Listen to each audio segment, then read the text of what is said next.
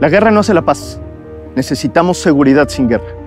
Lamentablemente hoy México está sumido en una crisis histórica de violencia e inseguridad provocada por el pasado que encarnan quienes ya gobernaron y quienes hoy gobiernan. Quienes ya gobernaron en 2008 sacaron al ejército a las calles y declararon una guerra contra el narcotráfico que lo único que provocó fue convertir a México en un territorio en donde habita la muerte. En el año 2012, la presidencia de la República cambió de partido. Lo que no cambió fue la estrategia de seguridad. Peor aún, apostaron a profundizar la militarización del país con una ley de seguridad interior, el debilitamiento de las policías y las fiscalías locales. Y sucedió una de las peores tragedias que ha vivido este país, la desaparición de los 43 estudiantes de la Escuela Normal Rural Isidro Burgos en Ayotzinapa. En 2018, México votó por un cambio. Votó para construir la paz que tanta falta nos hace. Votó para reconciliarnos y para dejar atrás la violencia. Pero quienes llegaron al poder no solo continuaron la militarización de la seguridad, también la de la administración pública. En lugar de poner en el centro a las víctimas, las ha ignorado e incluso revictimizado. La estrategia de este gobierno es la misma que falló en el pasado. La historia se escribe para aprender de ella, no para repetirla. No podemos esperar resultados diferentes haciendo lo mismo una y otra vez. Si esto sigue así, corremos el riesgo de que el pasado siga siendo nuestro presente y condene nuestro futuro. En Movimiento Ciudadano reiteramos la postura que ha acompañado nuestra historia. La guerra no hace la paz. Por eso luchamos para echar abajo la ley de seguridad interior y enderezamos la reforma constitucional de la Guardia Nacional para que fuera civil.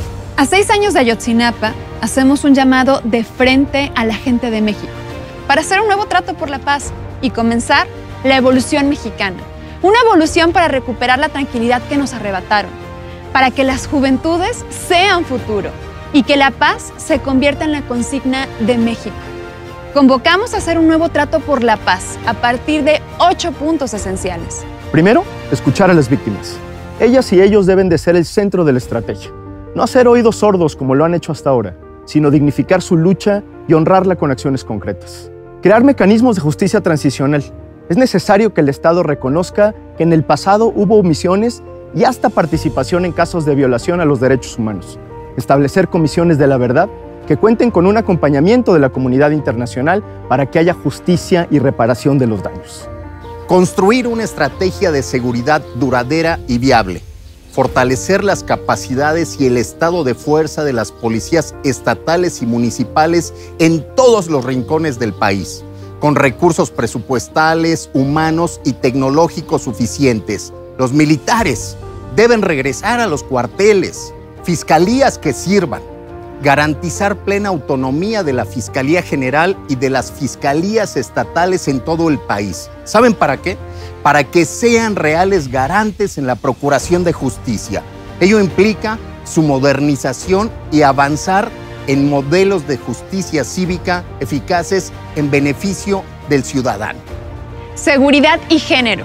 Erradicar todas las formas de violencias que vivimos las mujeres y combatir la revictimización que sufrimos en el proceso de acceso a la justicia. Enfrentar la violencia de género debe ser una acción estratégica en materia de seguridad, porque es un paso indispensable para lograr una sociedad más justa. Regulación para la paz. Tomar en serio la discusión sobre la legalización del cannabis y la regulación de todas las drogas. Inclusión y no discriminación. La marginación es el caldo de cultivo de las violencias. Si queremos recuperar la paz, debemos de empezar por tener una sociedad más justa e incluyente. Educar para la paz. Necesitamos comenzar a formarnos como una sociedad en la búsqueda de paz, igualdad, respeto y solidaridad.